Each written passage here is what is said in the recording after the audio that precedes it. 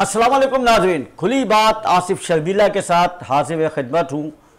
नाजरीन, आज हमारे मुल्क में एक खुशगवार तब्दीली आई है और वो तब्दीली है chief of army staff Pakistan.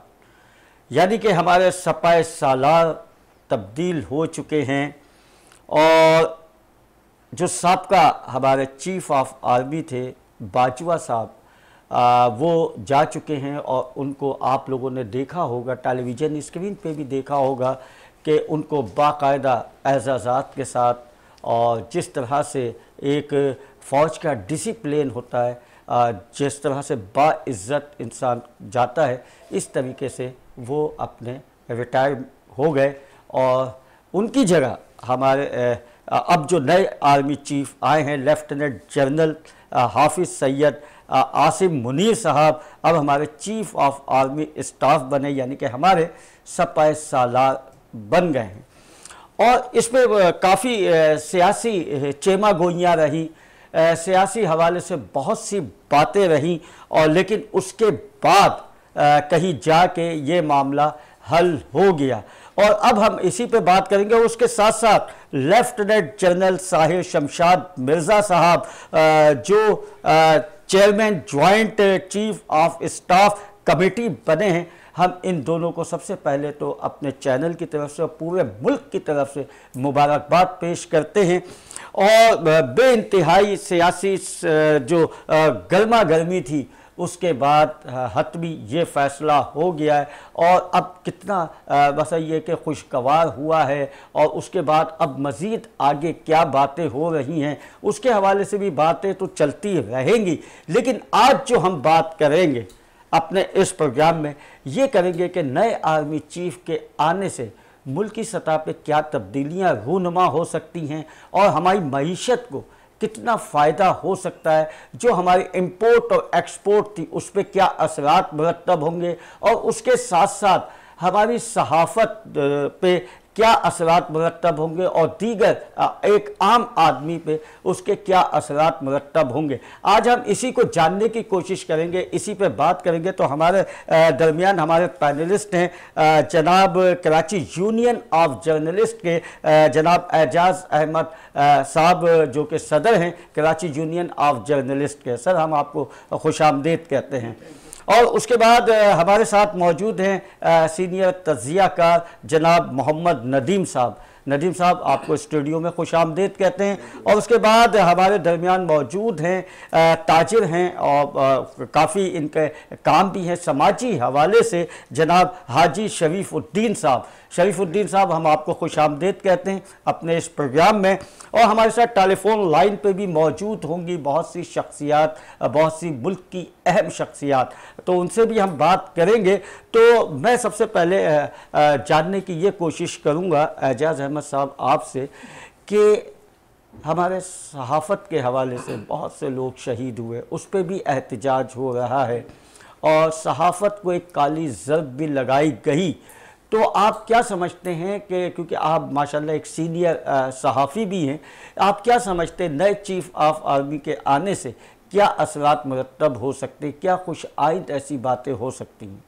जी रहीम सबसे पहले मैं तो जनरल आसिम मुनीर साहब को खुश आमदेद कहूँगा कि उन्होंने अभी तैनात हुए हैं और उसके साथ ही उनके इकदाम जो बेहतरी की जानब हैं, वो आना शुरू हो गए हैं। वो पहली मिसाल ये सामने आई है कि इमरान खान साहब जो अपोजिशन लीडर हैं उनके हेलीकॉप्टर को परेड ग्राउंड इस्लामाबाद में उतरने के लिए उन्होंने परमिशन मांगी थी जिसके लिए जीएचक्यू ने वाज तौर पर कह दिया है कि जी हमें कोई एतराज़ नहीं है हम्म। अगर सिविल इंतज़ामिया उन्हें इजाज़त देती है वहाँ अपना हेलीकॉप्टर उतारने की तो उनको यानी जीएचक्यू को उससे कोई प्रॉब्लम नहीं होगी तो इसका मतलब है कि उनके इकदाम उस सिमत में जाना शुरू हो रहे हैं कि सिविल मिलिट्री ताल्लुक जो है वो बेहतरी की तरफ़ गामजन होंगे। इससे हम यही उम्मीद कर सकते हैं। और बाकी जहाँ तक आपने सहाफ़त के हवाले से बात की तो सहाफ़त इस मुल्क में इंतहाई मुश्किल हालात से गुज़र रही है और इससे पहले माजी में भी गुजरती रही है। हमारे बहुत सारे साथी शहीद भी हुए हैं। बहुत सारे आ, मतलब नामालूम अफराद ने उन्हें उठाया अगवा किया तशद किया। इन हालात का भी सहाफ़ियों को सामना करना पड़ा है। तो हम उम्मीद करते हैं कि जनरल आसिम मुनीर साहब इस सूरत हाल को भी वॉच करेंगे। और जहाँ जहाँ हमें उनकी हेल्प की ज़रूरत हो हो सकती है, वो अपने सबॉर्डिनेट्स को सिविल इंतज़ामिया को ये, उनके साथ कोऑर्डिनेट करके ये बात यकीनी बनाएँगे कि सहाफ़त इस मुल्क में आज़ादाना तौर पे काम करते हैं सहाफ़ी, और उनके साथ किसी किस्म की कोई प्रॉब्लम ना हो। प्रॉब्लम क्योंकि देखिए सरहद के बाहर भी हमारे सहाफ़ी जाते हैं। और ज़ाहिर है जंग भी होती है बहुत से मामला ख़राब होते हैं सरहदों पे बड़ी कशीदगी होती है जैसे कि अभी आप कश्मीर का मामला ले लीजिए और आप बोसीनिया का मामला चीचा वतनी का मामला ले लें ये सब तमाम चीज़ें तो ज़ाहिर है कि सहाफ़ी जाता है रिपोर्टिंग के लिए जाता है। तो एक मुल्क का बस जो सरबरा होता है और जो इस तरह के मामला होते हैं उनको बाखूबी अंजाम देता है। तो उनको वो सहूलियात भी वहाँ पे मिलती हैं उनको फैसिलिटीज़ मिलती हैं क्योंकि ज़ाहिर जान का भी ख़तरा है और बहुत से मामला होते हैं। नदीम साहब आपसे भी मैं सवाल करूँगा लेकिन आ, मैं ये समझता हूँ हमारे हाफिज़ सैयद आसिम साहब आसिम मुनीर साहब जिनका ताल्लुक़ रावलपिंडी डेरी हसन आबाद से है और आसिम मुनीर साहब पाकिस्तान के इन अफसरों में से हैं जो ट्रेनिंग स्कूल से बाकायदा आए हैं। और एस या, या समझ लीजिए कि O T C O T S यानी कि उन्होंने बाकायदा किया और इसके ज़रिए आर्मी ऑफिसर बने। और इनका ताल्लुक जो है वो मंगला से है और ये हमारे सत्तरवें सिपाही सालार हैं। ये सत्तरवें सिपाही सालार हैं और लोगों को बड़ी सी उम्मीदें हैं इनसे। और मुल्की तौर पे भी बहुत सी उम्मीदें हैं कि जहाँ पे कशीदगी है, जहाँ सरहदी मामला हैं वहाँ भी ये कुछ शायद बेहतरी आ सके उन मामला को कुछ बातचीत के ज़रिए या इस अपने अंदाज से वो इसको हल कर सके। नदीम साहब, आप क्या देखते हैं इस हवाले से? पहले तो thank you very much Asif भाई। बहुत अच्छा प्रोग्राम है। एक पाकिस्तान के अंदर एक पॉजिटिव तब्दीली आई है चंद दिनों में। काफ़ी कारोबारी मामला और सियासी मामला काफ़ी रुके हुए थे। लोगों का ख्याल था कि, कि बहुत प्लेजेंट चेंज आएगा और जिस तरह भी हमारे भाई ने कहा कि, कि कुछ चेंज आया भी है तो कुछ दिनों में और कुछ पेशरफ नज़र आएगी। लेकिन एक जो असल पेशरफ जो हमें नज़र आनी चाहिए वो हमारी बॉर्डर और हमारी इर्द गिर्द की जो मुल्की सराउंडिंग है उसके बारे में नज़र आनी चाहिए। बाकी यह कि, कि ये कहना कि, कि सियासत के अंदर या हमारे मुल्क के अंदरूनी मामला के अंदर कोई ऐसी पॉजिटिव तब्दीली आनी चाहिए। क्योंकि आपके सामने अभी हमारी सियासतदानों हमारी खुद सबका आर्मी चीफ ने यह कह दिया कि हम किसी भी सियासी मामला में मुदाखलत नहीं करेंगे। तो अगर उस तरफ़ से आप कोई पॉजिटिव चेंज या ये समझ रहे हैं कि कोई एकदम कोई धमाका होगा तो ऐसा नहीं होगा। आर्मी अपनी दोबारा अपनी जगह चली गई है अलहमदिल्ला जो उनका नैरेटिव है जिसके मुताबिक वो कह रहे हैं कि अब हम अपनी सिर्फ़ मामला देखेंगे।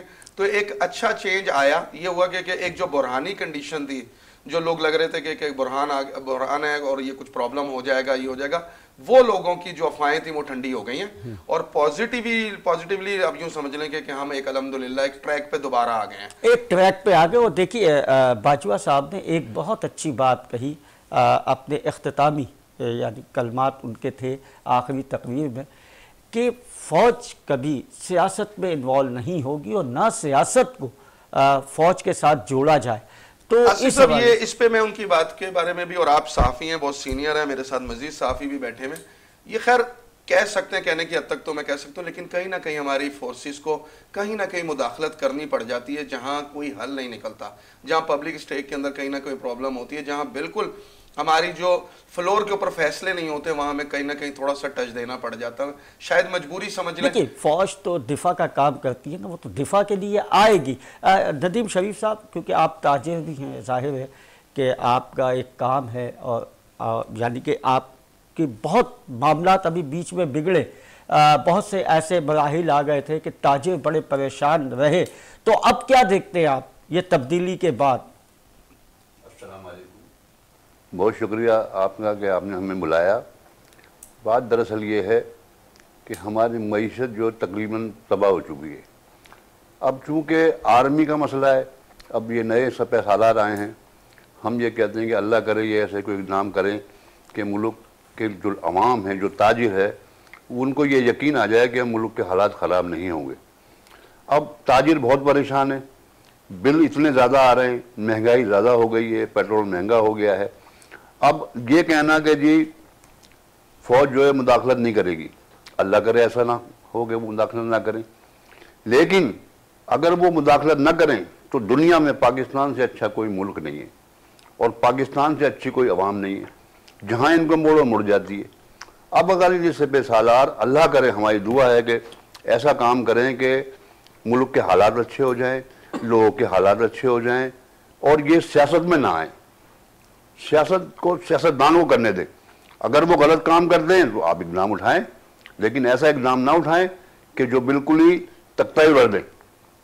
हम ये कहते हैं। लेकिन सिपे सालार चूँकि उसूल आया है। हम देखते हैं सबका हमारे जनरल जो थे कमर जावेद बाजवा साहब अ, उन्होंने तो कभी बस छः साल उन्होंने तकरीबन तकरीबन सपह सालार रहे आर्मी चीफ रहे उन्होंने कभी भी ये तासर नहीं दिया कि हम सियासत में आएँगे। जबकि हम देखते हैं कि गुज्त जो फौजी आए सब उन्होंने थोड़ा सा ज़ाहिर है मुल्क के लिए किया मुल्क की बेहतरी के लिए किया मुल्क को संवारने के लिए किया। तो ऐसा महसूस होता है कुछ? अब तब्दीली आएगी एजाज साहब आप क्या कहेंगे? देखें उम्मीद तो हमेशा रहती है कि तब्दीली आएगी और मुस्बत तब्दीली आएगी। अब ये आने वाला वक्त बताएगा कि किस तरह की तब्दीली आएगी। और लेकिन चूँकि हालात अब नस्बता बेहतर लग रहे हैं, जिस तरह से आर्मी चीफ की तैनाती हुई है, मोस्ट सीनियर जनरल जिनको आसिम मुनीर साहब को चीफ ऑफ़ स्टाफ बनाया गया, और इसी तरह जो नंबर टू हैं साहिर शमशाद मिर्ज़ा साहब, उन्हें joint chiefs of staff committee का चेयरमैन बनाया गया। तो ये दोनों जनरल, इंतहाई सीनियर यानी नंबर वन और नंबर टू पर थे। तो जिस तरह से ये ट्रांजेक्शन कंप्लीट हुई है और अच्छा एक बात और है एक, इसका नाम बहुत पहले आ गया था कमर जावेद बाजवा साहब का जब नॉमिनेशन हो रही थी हम्म। उस वक्त भी इनका नाम आया था लेकिन डिले हो गया था। नहीं वो तो देखे ना आर्मी की एक प्रैक्टिस है। इस वक्त भी छह नाम गए थे। जो समरी तैयार हुई थी उसमें छह नाम थे। अब कमर जावेद बाजवा जा, साहब जब चीफ ऑफ़ आर्मी स्टाफ बने थे तो उस वक्त ये उनसे दोनों जूनियर थे। तो इनके नाम भी एक रूटीन पॉलिसी के तहत समरी में गए थे। और मैं भी कि अगर उस वक्त जो नवाज़ शरीफ साहब ने उनको कमर जावेद बाजवा साहब को सिलेक्ट किया था तो मैं भी कि वो इनमें से भी किसी को चूज़ कर सकते थे। लेकिन ये प्राइम मिनिस्टर का इख्तियार होता है। अब प्राइम मिनिस्टर शहबाज शरीफ साहब ने ये किया है कि जो सीनियर तरीन जनरल्स हैं जो नंबर वन और नंबर टू हैं उन्हीं की तैनाती किए उन्होंने नीचे से किसी जनरल को ऊपर लेकर नहीं आए। टोटल मेरिट की बुनियाद पे इनका सिलेक्शन किया गया हाँ, है इसीलिए और वज़ीर आज़म साहब ने और तमाम बस जितने भी हाँ। हमारी सियासी पार्टियाँ हैं उन सबने मिलकर इनकी मेरिट की बुनियाद पे इनका सिलेक्शन हुआ और सीनियर इसी वजह से कोई जनरल सुपरसीड नहीं हुआ इस जी, जी, जी। ठीक है? तो ये बेहतर एक ट्रांजेक्शन हुई है इस वक्त। जी नदीम साहब आप क्या कहेंगे? सर ये बहुत अच्छी बात कही और पॉजिटिव चेंज है पाकिस्तान की मिलिट्री के अंदर एक है कि हमने इस वक्त मेरिट पे और किसी को नीचे से ऊपर लाने की सियासत इस बार नहीं हुई। तो ये अच्छा है लेकिन ये कि थोड़ी देर बाद कुछ सियासी पार्टियाँ ऐसी हैं इस पे तो हमारे भाई सारे यकीनन कहेंगे कि जिनके बेनिफिट में बात होगी वो बोलेंगे ठीक हो गया और जिनके बेनिफिट में नहीं हुई वो चीखें मारेंगे। तो ये चीखों की आवाज़ के बाद आपको आइडिया होगा कि आया आँख में आपका शरीफ साहब आपने फौज के हक में काफ़ी रैलियाँ निकाली एहतजाज किए। सियासी अनासर अपने इकतदार के लिए बेबुनियाद इल्ज़ाम भी लगाते रहे। ठीक है आवाम की बहुत सपोर्ट है और आज भी फौज के साथ आवाम खड़ी है। तो आपने जो रैली निकाली थी वो किस जज्बे से निकाली थी और क्या उसका असरात रहे? बात दरअसल ये है देखो जी फौज और हमारा साथ हमेशा का है और हमेशा रहेगा। अब हम अगर फौज के खिलाफ ही हो जाएँगे तो मुल्क का क्या बनेगा? सोचने की बात यह है। रहा सवाल ये कि जनरल क्या कर रहा है? तो वो आपके सामने पचहत्तर साल से क्या किया है? मेरी तो यही राय है कि इस जनरल साहब से भी यही राय है कि मुल्क के लिए काम करें। बहुत हो गया, पचहत्तर साल से लोग पीछे जा रहे हैं। दुनिया आगे जा रही है, हम पीछे जा रहे हैं। इतना बेहतरीन मुल्क। हमारे पास हर चीज़ मौजूद है। हमारे पास नमक, तेल, लकड़ी तीनों चीज़ें मौजूद है। है कि नहीं? और फिर हम भूखे मर रहे हैं। मादनियात? हमारे यहाँ। हर चीज़ हमारे पास है। पानी हमारे टैलेंट हमारे पास मौजूद है। हर चीज़ हमारे पास इतनी बेहतरीन आवाम है कि हर चीज़ मौजूद है लेकिन सपोर्टर नहीं है। मैं तो मजबूर हूँ कि मैं निकलता हूँ कि मुल्क में ऐसा ना हो कि खाना जंगी हो जाए फौज में खान आपस में न लड़ जाए। हम ये चाहते हैं कि फौज हमारी यही रहे। नहीं दुश्मन तो चाहता है लेकिन हमारी कौम जो है वो फौज के साथ हाँ। है और फौज के साथ रहेगी देखिए दुश्मन तो कभी नहीं चाहेगा चाहेगा। कि इस मुल्क के अंदर अफरा तफरी हाँ, रहे हाँ। लेकिन हमारी आवाम हमारी कौम जो है वो अपने जो अफवाज है जितनी भी हमारी अफवाज है। उन सबसे प्यार करती है। मोहब्बत करती है मजीद आगे गुफ्तगू लेके चले गए यहाँ हुआ है एक ब्रेक का वक्त जी नाजिन ब्रेक के बाद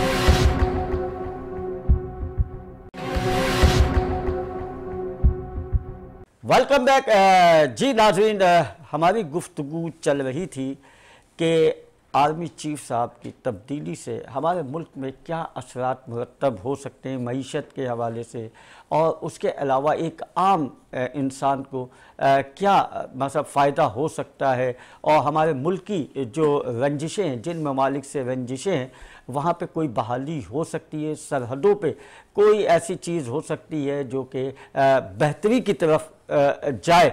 तो उम्मीदें तो बहुत सारी हैं और ज़ाहिर है कि इन उम्मीदों पे हमारे नए चीफ ऑफ़ आर्मी स्टाफ जनाब सैयद आसिम मुनीर साहब का भी ज़ाहिर सी बात है कि वो यहाँ पे आए हैं। और यही नहीं कि मुल्क की बाईस करोड़ आवाम को उनसे उम्मीद है, बल्कि हमारी सियासी जमातों को भी उनसे बहुत सी उम्मीदें हैं। और इन क्योंकि अभी चंद दिन ही हुए हैं उनको आए हुए। अब ज़ाहिर है कि वो अपने काम की तरफ़ जब मुसलसल वो तेज़ रफ्त दिखाएँगे तो इन हमें अच्छे असरात भी नज़र आएँगे। नाज़रीन इस वक्त हमारे साथ टेलीफोन लाइन पे मौजूद हैं ब्रिगेडियर इकरार हुसैन साहब। इकरार हुसैन साहब आपको हमारी आवाज़ आ रही है? जी शर्मिला साहब मैं ब्रिगेडियर करार कर रहा हूँ आवाज़ आ रही है आपकी। जी ए, सैयद इकरार हुसैन साहब, आप मुझे ये बताएँ, अब नए आर्मी चीफ जनाब हाफिज सैयद आसिम मुनीर साहब आ चुके हैं। चीफ ऑफ़ आर्मी और उसके साथ लेफ्टिनेंट जनरल साहिर शमशाद मिर्ज़ा साहब अपने तैनात हो चुके हैं chairman joint chief of staff committee के। तो आप कैसा देखते हैं, सर, इस हवाले से? मेरे नज़दीक आसिफ भाई ये बहुत अच्छी मूव है। हाँ। उसकी रीजन ये है कि मुल्क में एक अजीब कैफियत पैदा कर दी गई थी इस तैनाती को लेकर। हम्म हम्म। और कम अज कम एक तो वो छह मुगलियाँ खत्म हो जानी चाहिए। हम्म हम्म। और इसके अलावा जिसको भी आर्मी चीफ बनाया जाता है वो अपने पूरे करियर के दौरान बहुत मेहनत के साथ और एक खास अपना मंजिल तय करने के बाद जब लेफ्टिनेंट जनरल बनता है तो उनमें से सारे इस काबिल होते हैं कि किसी को भी आर्मी चीफ बना दिया जाए। लेकिन तो सर अ, इनका नाम पहले भी आ, आ रहा था लेकिन आया नहीं। और बाजवा साहब आ गए थे और उसके बाद अब अ, हम ये समझते कि मुकम्मल मेरिट के साथ ये इंतखाब किया गया है। देखिए मैंने जैसे अर्ज़ किया सीनियरिटी में सबसे सीनियर थे। और। इसके अलावा इनकी जो भी काबिलियत है टोडा फानर है हाफिज कुरान है दीनदार आदमी है बहुत अच्छा करियर रखा है। डीजीआईएस आई रहे हैं डीजीएमआई रहे हैं कोर कमांड की हुई है बीएचक्यू में प्रिंसिपल ऑफिसर रहे हैं। अपॉइंटमेंट सारी जो बड़ी बड़ी होती है इन्होंने की हुई है।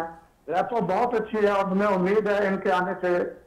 फौज का भी और मुल्क का भी नाम बेहतर बनेगा। अच्छा सर आज जिन ममालिक से हमारी थोड़ी सी कशीदगी है आ, जैसे कि अभी जैसे कश्मीर का मसला है और आ, दूसरे ममालिक का मामलात है तो उस हवाले से आप क्या देखते हैं या क्या कहना चाहेंगे कि कोई बेहतरी इस तरफ़ ये ला सकते हैं? लेकिन बेहतरी तो जो लेके आनी है वो सियासी हुकूमतों ने लेके आनी होती है। फौज तो सियासी हुकूमतों के कहने पे अमल करती है। मेरे हिसाब में पाकिस्तान कभी भी नहीं चाहता कि हमसायों के साथ तल्लुकात खराब हो या जंग हो। चाहे हमारी पॉलिटिकल लीडरशिप हो, चाहे हमारी मिलिट्री लीडरशिप हो। बदकिस्मती है कि हमारे पड़ोस में खासतौर पर हमारे मशरक में मोदी साहब जो हैं, उनकी जो हुकूमत है, वो अभी तक इस तरफ़ सोच नहीं रही है। और मेरे हिसाब से अगर कुछ मशरक की बॉर्डर पे हालात बेहतर होने हैं तो उसके लिए मोदी को सोचना है। हमें तो अगर उन्होंने छेड़ा तो अल्लाह की मेहरबानी से पाकिस्तान फौज इस काबिल है। हम उनको मुँह तोड़ जवाब पहले भी देते हैं फिर भी दे देंगे। बिल्कुल। आ, आ, नदीम साहब आप क्या कहेंगे? आ, सर मैं भी यही करार साहब ने जो फरमाया जी जी ब्रिगेडियर साहब की बात क्योंकि पेशा वराना सलाहियत इनके पास है इन्होंने तो इस शोबे में रहे हैं। तो मैं इस बात को आगे बढ़ाऊँगा क्योंकि बॉर्डर की जो सहूलत जो बॉर्डर की जो सिचुएशन है, उसके ऊपर तो आप बेफिक्र हो जाएँगे कि हमारी फोर्सेस कहीं कहीं प्रॉब्लम होगा। अलहमदिल्ला पेशा वराना सलाहियत के हिसाब से हम दुनिया की मज़बूत तरीन अफवाज में से हैं। हमारे पास वो सारी सहूलतें हैं और वो सारी चीज़ें हैं कि जिससे हम दुश्मन का इन ताला मुँह तोड़ जवाब दे सकते हैं। लेकिन कभी कभी कुछ चीज़ें ऐसी आती हैं जिसके बाद थोड़ा सा लोगों को परेशान कर देती हैं। जिस ब्रिगेडियर साहब ने कहा कि लोगों ने अफवाहें फैला दी थी। देखिए पूरी दुनिया के अंदर फोर्सेज और इदारों के अंदर एक तब्दीली आती है। वो जैसी भी तब्दीली आएगी लेकिन उस पर इतनी ज़्यादा अफवाहें पैदा करके आपको सच्ची बात बताऊँ शरीफुद्दीन साहब अभी मेरी बात को बढ़ाएँगे कि कारोबार के ऊपर इतना फैक्ट हुआ इन पंद्रह बीस दिनों के अंदर। लोग समझे कि पता नहीं क्या हो जाएगा। क्या हो जाएगा। लोग ये परेशान हो गए थे कि शायद हमारे यहाँ एक बहुत बड़ा वो हो जाएगा फिनोमिना आ जाएगा। तो मैं लोगों को समझा रहा था कि, कि इदारों के अंदर तब्दीलियाँ तो आती रहती हैं। बड़े बड़े इदारों के अंदर तब्दीली आती है पूरी दुनिया के अंदर तब्दीली आती है। तो हमारी आर्मी चीफ को बना के बिठा के इतना ज़्यादा मुश्किल बना दिया गया। उनका ख्याल था कि, कि पता नहीं कोई तबाही मिल जाएगी। अच्छा अच्छा मैं मैं एजाज साहब आपकी तरफ़ आऊँगा। क्या नए आर्मी चीफ आसिम मुनीर साहब पाकिस्तान को मुख्तलिफ़ बहरानों से निकालने में कोई मस्बत कोई किरदार अदा करेंगे? देखिए बात यह है कि डायरेक्टली उनका किरदार बहरानों से निकालने का बनता नहीं है। क्योंकि जैसे अभी ब्रिगेडियर साहब ने भी कहा था ये ब्रिगेडियर करार साहब ने, कि ये सियासी हुकूमतों का काम होता है। जो हमारी सियासी क़्यादत है, पाकिस्तान में इस वक्त मुख्तलिफ़ किस्म के बहरान हैं ना तो जो बहरान हैं, उन्हें हल करना, जो मसाइल हैं, उन्हें हल करना सियासी क़्यादत की ज़िम्मेदारी होती है। अब हमारी सियासत, सियासी क़्यादत किस कदर बालिग नज़री से काम लेती है और किस तरह उन मामलों को हल करने की कोशिश करती है, ये उन पर डिपेंड करता है। जहाँ तक आर्मी चीफ की बात है तो ये हाँ हमारे बॉर्डर को सेव करने के लिए हमारी आर्मी मौजूद है। लेकिन हमें इस बात को नहीं भूलना चाहिए कि हमारा जो मशरक में बैठा दुश्मन है, वो हर वक्त इस ताक में लगा रहता है कि हमारी कमज़ोरियों से फ़ायदा उठाए। जिस तरह से आर्मी चीफ की तैनाती के दौरान, जो अभी ये पंद्रह बीस दिन से, जो महीने से तकरीबन एक बिला वजह की एक बहस व मुबासा चल रहा था मुल्क में कि किसे होना चाहिए, किसे नहीं होना चाहिए, जबकि मैं समझता हूँ कि वो गैर ज़रूरी था। इसलिए कि आर्मी चीफ की तकरूरी का इख्तियार वज़ीर अजम को होता है। और वज़ीर अजम के पास जो एक प्रोसेस के थ्रू नाम गए और उन्होंने उनमें से जिसको आर्मी चीफ सेलेक्ट किया और जिसे joint chief staff committee select किया, वो मुकर कर दिए गए। लेकिन भारत में ख़ास तौर पर भारतीय मीडिया में इस बात को बहुत उछाला गया बहुत प्रोपेगेंडा किया गया। उसकी बुनियादी वजह यह है जो मैं समझता हूँ कि हमारे जनरल आसिम मुनीर साहब जो हैं ये डीजी एमआई भी रहे हैं और डीजी आईएसआई भी रहे हैं। हम्म। तो इस तैनाती पर भारत को खास तौर पे प्रॉब्लम पेश आ रही थी कि अगर डीजी मिलिट्री इंटेलिजेंस और आईएसआई के चीफ अगर पाकिस्तान आर्मी के चीफ बन जाते हैं तो वो अपने लिए उनसे एक खतरा महसूस कर रहा है भारत अभी से। और यही वजह है कि अभी पिछले दो तीन रोज से भारतीय मीडिया को अगर आप देखें तो उन्होंने एक वावेला मचाया हुआ है एक प्रोपेगेंडा कर रहे हैं पाकिस्तान के खिलाफ पाकिस्तान आर्मी के खिलाफ पाकिस्तानी हुकूमत के खिलाफ अपोजिशन के खिलाफ। अलगरज मुकम्मल तौर पर उन्होंने एक महाज बना लिया है। उन्होंने तो हमारे सियासी लोगों की कुछ दो चार तक जी जी। तकारीर जो हो गई थी हम्म। और उनको भी लेके उसको इशू बनाया। ब्रिगेडियर साहब, आप क्या कहेंगे इस बात पे? बिल्कुल, मैं इतफाक करता हूँ भाई आपकी बात से भी, और बाकी भी हमारे जो दोनों हाजरीन हैं, इनकी बात से भी। इसको इशू बिल्कुल नहीं बनाना चाहिए था। रूटीन का मामला था, और देखें मुल्क आइन के मुताबिक चलाया जाता है। और आइन के मुताबिक पाकिस्तानी फौज का पाकिस्तान की पॉलिटिक्स में बाहर की खारजा पॉलिसी में कोई रोल नहीं है। हमारा जो रोल है वो पाकिस्तान का दिफा करना बॉर्डर से।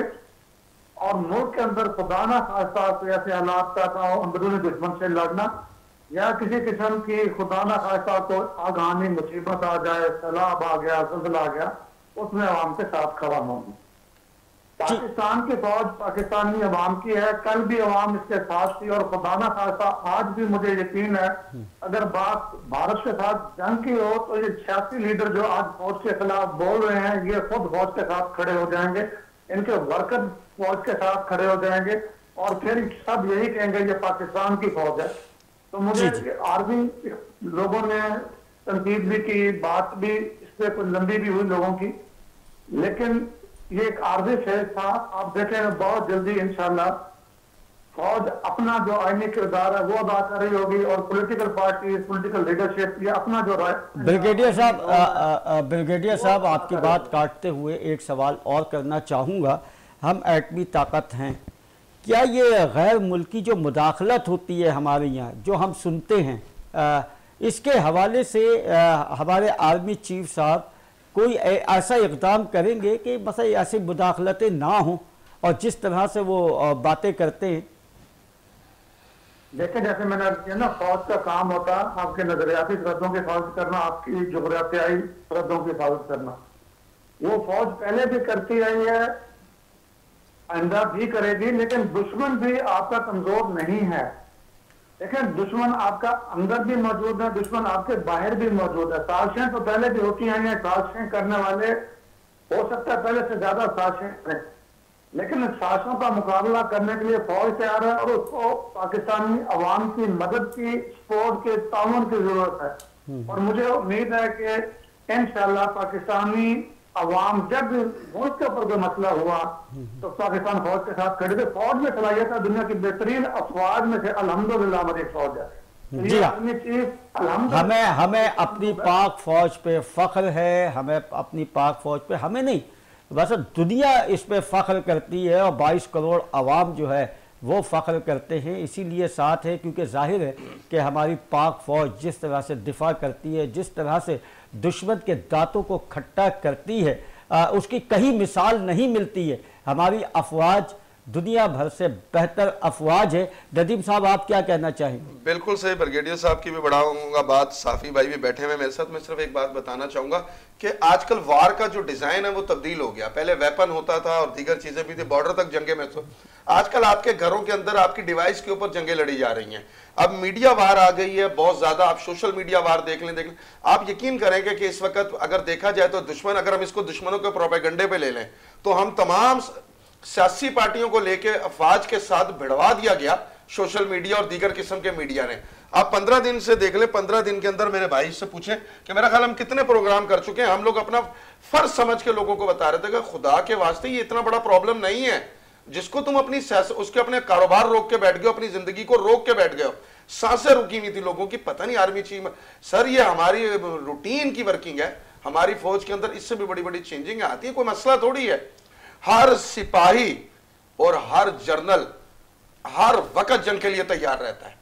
अब उसमें एक ऐड हो गई है जंग के लिए मीडिया नहीं, अब मीडिया वार आसिफ भाई मीडिया वार अब उसमें शामिल हो गई है हमारे अंदर। अब उसमें हमारा भी फ़र्ज़ बनता है। हम साफियों का, हम तजियाकार, हम जैसे सोशल मीडिया के लोग और जितने साथी हैं, उसमें हम अपनी फौज का अगर साथ दे गए तो मेरा ख्याल है हमें दुनिया की कोई ताकत हरा नहीं सकती, इंशाल्लाह। इनशाला आप आप नदीम अपना, शरीफ साहब, आपसे मैं जानने की कोशिश करूँगा कि आपने जब फौज के लिए रैली निकाली, जो जज्बात आपके हमने देखे थे और जो एक जोश और वलवला आप लोगों में था तो आप अब क्या समझते हैं कि हमारे आर्मी चीफ को क्या ऐसे इकदाम करने चाहिए हैं कि ये जिस तरह से बातें की जाती हैं फौज पे, जिस तरह से बोला जाता है फौज पे, वो रुक सके।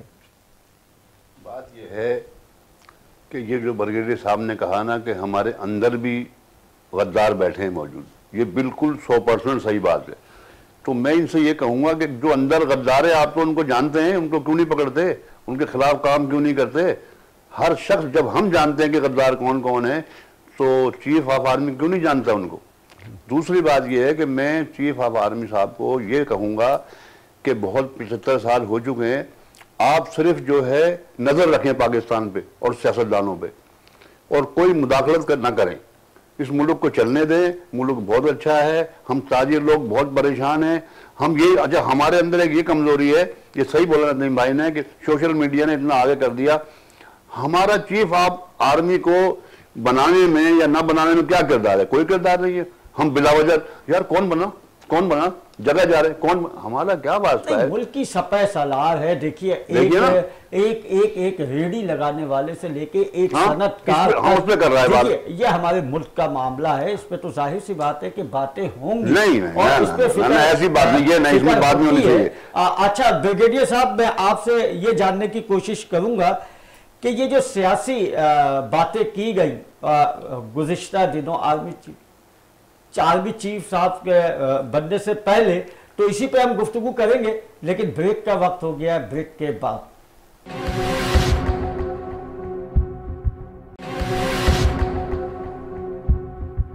वेलकम बैक जी नाजरीन हम बात कर रहे थे हमारे साथ टेलीफोन लाइन पे मौजूद हैं जनाब सैयद करार हुसैन साहब ब्रिगेडियर रिटायर्ड। तो हम उनसे बात कर रहे थे कि करार साहब आप इनकी बातों का क्या जवाब देंगे? और इस वक्त एक सवाल छोड़ के गया था मैं। सवाल आपका ये था कि फौज पे पिछले चंद दिनों में जो सियासी बातें हुई वो होनी चाहिए कि नहीं? मेरा जवाब है नहीं। नहीं। देखिए आप शख्सियात ज़रूर कर सकते हैं। आप कह सकते हैं कि के खिलाफ ब्रिगेडियर ने गलत काम किया उसके खिलाफ इंक्वायरी हो कानून के मुताबिक तो सजा दी जानी चाहिए। आप कह सकते हैं फला जगह ने गलत काम किया उसकी इंक्वायरी हो कानून के मुताबिक उसके ऊपर केस चले और जो उसने अगर किया तो सजा मिले नहीं किया तो उसको बरी कर दिया जाए। लेकिन आप एज ए पूरे अदारा एज ए ऑर्गेनाइजेशन आपको फौज का किसी भी अदारे को इस तरह मुर्द इल्ज़ाम ठहरा के अपनी तकरीरों का अनुमान नहीं बनाना चाहिए। लोग आते जाते रहते हैं अदारे कायम रहते हैं पाकिस्तान में कायम रहना। है। अदारों की पॉलिसी एक आदमी के आने से चेंज हो जाती है। जैसे लोग कहते हैं इलेक्शन कमीशन कल को इलेक्शन कमिश्नर कोई और आ गया हो सकता उसकी पॉलिसी और हो। उसने अपने मैंडेट के मुताबिक काम करना है करता रहा है। आर्मी अपने मैंडेट के मुताबिक आएँगे रोज करती रही है करती रहेगी। तो शख्सियात के साथ तो इख्तलाफात हो सकते हैं। और शख्सियात को अगर आप समझते हैं उनमें कोई ऐसी बुराई है जो मुल्क और कौम के मफाद में नहीं है तो तनकीद का निशाना बनाने में हाथ भी नहीं है कोई हम्म, हम्म। आप सही कह रहे हैं कि देखिए हाँ। शख्स को तो आप कह सकते हैं लेकिन हमारा कोई भी इदारा हो उसको आप नहीं कह सकते क्योंकि इदारा जो होता है वो लोगों की बेहतरी के लिए होता है मुल्क की तरक्की के लिए होता है और मुल्क की दिफा के लिए होता है तो उस पर तो आप कोई बात ना करें, इदारे के हवाले से बात ना करें। हाँ ये है कि कोई शख्स अगर गलत कर रहा है तो उसकी निशानदही ज़रूरी है। एजाज भाई, आप क्या कहेंगे? जी, बिल्कुल आप दुरुस्त कह रहे हैं कि अगर कोई शख्स किसी इदारे का, अगर कोई सरबरा है या उसके कोई और जिम्मेदार हैं, अगर वो कोई गलतियाँ कर रहे हैं तो एज मीडिया पर्सन हमारा फ़र्ज़ बनता है और हम उसकी निशानदेही करते हैं। लेकिन बदकिस्मती ये होती है कि हमारे काम में भी बाज़ात रुकावट डाल दी जाती है। तो मैं ये चाहूँगा कि हमें हर तरफ़ से एक तरह से लिबर्टी हासिल हो मीडिया को क्योंकि अगर हम मीडिया कोई तनकीद करता है तो वो तनकीद बराए तनकीद नहीं तनकीद बराए इसलाह होती है। ठीक है ना? उसको उसी तरह लेना चाहिए। ये नहीं कि उसके खिलाफ कोई कार्रवाई की जाए किसी भी तरफ़ से। देखिए मीडिया का तो काम है ना जी। कि अगर कहीं बुराई है उसकी निशानदही कर उजागर तो हम करेंगे। मीडिया कोई कानून नहीं बनाता। जी। मीडिया कोई अमल दरामद नहीं कर सकता। हाँ. उन हुक्मरानों तक, उन तक वो खबर पहुँचा सकता है ताकि इस तरफ़ देखे। अच्छा जहाँ पे हम बुराई की निशानदेही करते हैं, वहाँ अच्छाई की भी करते हैं। अब ज़ाहिर है कि इसी तरह से, लेकिन इदारों पे इदारों पे बात नहीं करनी चाहिए क्योंकि इदारों में बैठने वाला शख्स तो गलत हो सकता है। इदारों इदारा कैसे पे गलत इदारों पे बात नहीं होती आमतौर पे। जब भी बात होती है किसी ना किसी शख्सियत के हवाले से ही होती है कि फलां ने फलां इकदाम गलत कर दिया फलां का फलां कदम गलत है फलां ने ये स्टेप गलत लिया है। आमतौर पर जो मीडिया में बात होती है पूरी ज़िम्मेदारी के साथ वो सिर्फ़ इदारों पे नहीं होती, किसी भी इदारे पे नहीं होती, बल्कि उन शख्सियात के खिलाफ होती है जिनसे कोई गलती सरजद हो जाती है। और मैं समझता हूँ कि हमारे मुल्क में कोर्ट ऑफ़ लॉ भी मौजूद है और खुद हमारी आर्मी के अंदर अपना एक डिसिप्लिन मौजूद है, उनका अकाउंटेबिलिटी का एक सिस्टम मौजूद है। तो बजाय ये कि अगर हम कहीं पर किसी वक्त, किसी मामले में कोई अपनी राय दे रहे हैं, कहीं पर तनकीद भी कर रहे हैं, कहीं पर हम इतफाक़ भी कर सकते हैं तो उस तनकीद को मुस्बत अंदाज में लिया जाए। कोई भी इदारा हो हमारे मुल्क का हमारे लिए सब काबिल एहतराम है। काबिल एहतराम है नदी आपका शरीफ साहब आप क्या कहेंगे? इदारों पे जो तनकीद की कर देते हैं या बोल देते हैं उसके हवाले से आप क्या कहेंगे? इदारों पर नहीं करनी चाहिए। जो शख्स कर रहा है उस पर करनी चाहिए। क्योंकि इदारे तो हमारे मुल्क के इदारे हैं ना। अगर उनमें कोई शख्स गलत कर रहा है तो उसकी निशानदेही करें और उसको बाकायदा सजा दी जाए। अब हमारा मुल्क का मसला ये है कि आपने कहा कि नहीं तो करना चाहिए। एक आम ठेले वाला आम फलूल वाला आम वही वज़ीर आज़म कौन बनेगा? वही चीफ ऑफ़ आर्मी स्टाफ कौन बनेगा? ऐसा नहीं है। आप जो है इनको करने दें काम हम अपना काम करें। हम क्या कर रहे हैं? ताजिर क्या कर रहे हैं? आम आदमी क्या कर रहा है? उसको भी मुल्क के लिए काम करना इससे ये तासुर नहीं मिलता। एक आम आदमी को जैसे कि ये बात कर रहे हैं एक रेडी वाले की और एक बिजनेसमैन की कि वो भी बात करता है। हालाँकि ये काम तो ज़ाहिर सी बात है कि हाई लेवल के हैं। वहाँ से इन कामों को किया जाएगा। फैसले तो वही करेंगे। लेकिन एक आदमी इन्वॉल्वमेंट जो दिखाता है इसमें, अपनी हुब्बुल वतनी भी दिखाता है, अपने इजहार भी करता है, जज्बात का इजहार भी करता है तो उसका हक है ना? अच्छा ये बात ना हमारे यहाँ थोड़ा सा ना इसको बुरा समझा जाता है। लेकिन मैं एक बात आपसे पूछूँ कि इसी वजह से अल्लाह ने, अल्लाह ताला ने हर काम के लिए कोई ना कोई नई चीज़ लाई। अभी सोशल मीडिया जो है ना, ये इजहार आज़ादी था। लोगों को इजहार की आज़ादी मिल गई उसको कुछ नेगेटिवली इस्तेमाल हो गया। मैं शरीफ भाई की और अपने भाई के एजाज भाई की बात में मेरे साथ बैठते हैं सारा दिन हम तो इकट्ठे होते हैं। मैं एक बात बताऊँ कि, कि इसका नेगेटिव इफ़ेक्ट अब पिछले दिनों लोगों ने बिला ज़रूरत किसी ने एक मीडिया पे न्यूज़ चला दी मीडिया पे नहीं बल्कि सोशल मीडिया पे कि एंबुलेंस खाली जा रही है। तो मैं लोगों को कहता था एंबुलेंस खाली जाएगी ना किसी पेशेंट को उठाने के लिए या साथ में पैसेंजर आने जाने का करवाएगी वो। तो ये लोगों को हमारे यहाँ थोड़ी सी अवेयरनेस की भी कमी होती है। अच्छा ये एक बात बताऊँ आपको कि हमारे कौम बड़ी मुहब वतन है। हम अपने इदारों पे अच्छा उसमें फौजी इदारों के ऊपर हमारा बड़ा ट्रस्ट होता है। हम शायद जमहूरी इदारों को इतना समझ नहीं सके या उनको समझा नहीं हम लोग समझे बदकिस्मती है कि हम वो फ्लोर की लड़ाई को हम लोग उसकी जाती लड़ाई समझ लेते हैं। मैं ये समझता हूँ कि सियासी तौर पे लचक होनी चाहिए नहीं लचक की बात मैं और- बाद में करूँगा। पहले शोर देने की बात थी। आसिफ भाई मसला ये होता है कि, कि हम लोगों के पास हमें अपनी फौज से मोहब्बत जंग और दुश्मन के मुकाबले पे हम एक पॉइंट पे खड़े हैं। कि दुश्मन इसमें हमारे तो कोई शक नहीं क्योंकि अब वक्त मेरे पास बहुत कम है और हमारे साथ ब्रिगेडियर कर्रार हुसैन साहब मौजूद है रिटायर्ड ब्रिगेडियर। कर्रार साहब आप क्या कहेंगे एक आम आदमी भी इस पे गुफ्तगू करता है तो आम आदमी को क्या हक नहीं है जमहूरियत में इन पे बात करने का? मेरे ख्याल में इसमें कोई बुराई नहीं है। उसकी रीजन यह है खासतौर जमहूरियत में तो जिसको आपने वज़ीर आज़म बनाना है वज़ीर आला बनाना है वो आपके या आपके हम वतनों के वोटों से मुंतखब हुआ होता है। और वोटर्स को अपने उस आदमी से ना सिर्फ़ बहुत सी उम्मीदें होती उस आदमी से, बल्कि एतमाद भी होता है कि आदमी डिलीवर करेगा।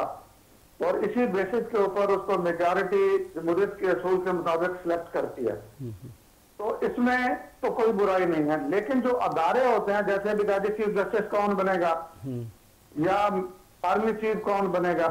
उनका एक ऑलरेडी पहले से सिस्टम होता है और उसमें आम पब्लिक का रोल इतना ही होता है कि जी वो जो आने वाला है वो इनके लिए क्या कर सकता है? एक अच्छा चीफ जस्टिस आएगा वो बाकी अदालतों के निज़ाम को बेहतर करेगा जो पेंडिंग आपके केसेस होते हैं हो सकता है उसको तेज कर दे। इस तरीके से एक अच्छा आर्मी चीफ आएगा जो आपके अंदरूनी मसाइल होते हैं उसमें बेहतर कर दे कुछ ना कुछ। तो बुराई नहीं है इसमें कि जी आप डिस्कस क्यों करते हैं कौन आएगा? लेकिन इतना उसको जाती है हाइट नहीं देना चाहिए कि गैर ज़रूरी तोजह नहीं देनी चाहिए। हाँ हाइप नहीं देनी चाहिए। सैयद इकबाल हुसैन साहब रिटायर्ड ब्रिगेडियर हम आपका शुक्रिया अदा करते हैं कि आप टेलीफोन लाइन पे हमारे साथ मौजूद रहे। अ, बहुत बहुत शुक्रिया आपका। थैंक यू वेरी मच और अ, मैं एजाज साहब आपसे पूछने की कोशिश करूँगा। इम्पोर्ट और एक्सपोर्ट और दीगर जो कारोबार हैं क्या इसमें कुछ तब्दीली आएगी? क्योंकि साहब इम्पोर्ट एक्सपोर्ट होती है माल जाता है वहाँ भी हमारे सरहदें पार करके जाता है तो ज़ाहिर है कि बड़ा अमल दखल होता है। छोटी सी बात। मतलब अभी जिस तरह के हालात रहे हैं पिछले दिनों हमारे अशरीफ साहब ने जिस तरह कहा कि हमारे ताजिर गैर ज़रूरी तौर पर मोहतात हो गए थे। ठीक है ना? उनको भी बहरहाल अपना सरमाया डूबने का खदशा होता है इसलिए वो एक मोहतात तरीके से आगे चल रहे होते हैं। अब ये जिस तरह की गैर यकीनी कैफियत बना दी गई थी, ज़बरदस्ती बना दी गई थी, कोई मतलब इसका कोई कुदरती तौर पे कुदरत से कोई ताल्लुक नहीं था मामला से इसका।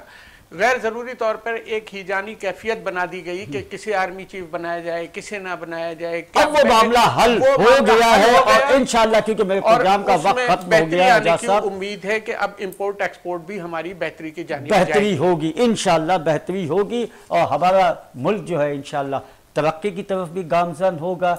एक खुश आइन बात है क्योंकि अभी हफ़्ता ही हुआ है कि हमारे आर्मी चीफ जनाब सैयद आसिम मुनीर साहब ने अपना अहदा संभाला है और जनाब साहिर शमशाद साहब ने अपना अहदा संभाला है। एक बार फिर पूरी कौम की तरफ़ से, हम अपनी तरफ़ से उनको मुबारकबाद पेश करते हैं और बहुत सी अच्छी उम्मीदें रखते हैं। इसी के साथ ही नदीम साहब, आपका बहुत बहुत शुक्रिया। आप तशरीफ़ लाए।